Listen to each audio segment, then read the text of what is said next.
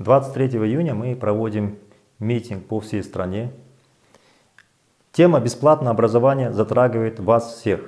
Во-первых, ежегодно ваши родители только за одного ребенка платят от полумиллиона до миллиона тенге только за образование. Затем ваши же родители платят вам какие-то деньги для того, чтобы вы могли найти возможность проживать, выживать, снимать квартиры. Затем ваши родители, в связи с тем, что стипендии носят условный характер, они пытаются помочь вам, чтобы вы выжили в тех или иных городах, чтобы продолжить свою учебу.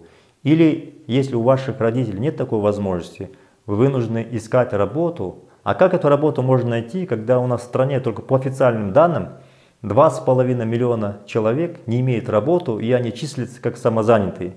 И в этих условиях Вместо того, чтобы учиться, вы вынуждены выживать, соответственно, вы не получаете качественное образование, и завтра вы выходите с пустой корочкой, за которой практически ничего нет. Многие из вас имеют дипломы, держат где-то на полке, не могут найти работу. И зачастую это связано с тем, что образование у нас некачественное. Не только потому, что рабочих мест не хватает, но в большей степени это связано с тем, что образование некачественное. И поэтому мы призываем вас выйти на митинг 23 июня вместе с нами, потребовать от правительства, чтобы правительство обеспечило возможность не только вашего бесплатного обучения, но также, чтобы правительство выделило деньги на стипендии, на возможность проживания и выделило субсидии, чтобы вы могли арендовать жилье. То есть вы своими руками можете строить свое будущее.